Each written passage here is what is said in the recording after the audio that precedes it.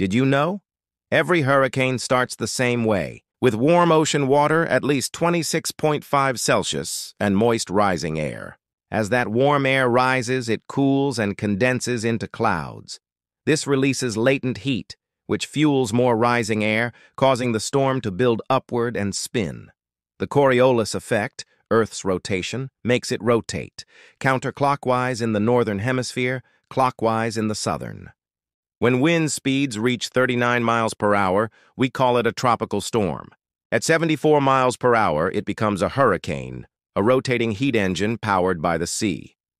Now the strength of that hurricane is ranked on the Saffir-Simpson Hurricane Wind Scale, Category 1, 74 to 95 miles per hour. Minor damage, trees sway, power lines snap. Category 2, 96 to 110 miles per hour. Roofs tear, roads flood, power outages spread. Category 3, 111 to 129 miles per hour. Major hurricane. Structural damage begins. Long-term outages likely. Category 4, 130 to 156 miles per hour.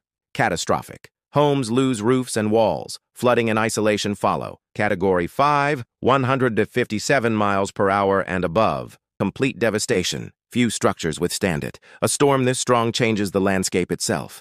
Every hurricane has an eye, calm air at the center, surrounded by the eye wall, where the strongest winds and heaviest rain occur. Once the storm moves over land or cooler water, it loses its heat source, weakens, and eventually dies out.